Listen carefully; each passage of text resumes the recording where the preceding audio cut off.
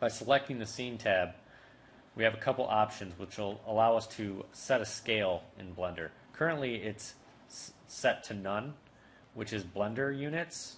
There, that's a relative thing, uh, so it might not work for us in this case. Most people will use the metric system, and you can indicate millimeters by adding two decimal points here. In the US, we will use the imperial system, indicating inches, feet, and so on. Set that to one. Uh, we'll want to open up the transform uh, panel here, object transform panel. We see a couple indications about the scale and dimensions. Here it's indicating uh, six feet, which might be a little big for 3D printing. So let's go ahead and scale that down a bit.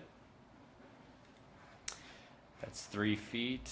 Uh, let's go all the way down to 11 inches, and we'll zoom in.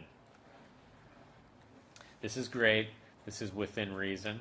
Uh, I might as well make it smaller. And you can see that the scale changes uh, if you change the dimension, uh, although you can uh, scale up and down.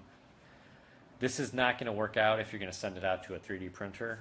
You'll want this to be set at 1 uh, to better reflect the ultimate dimensions of the piece.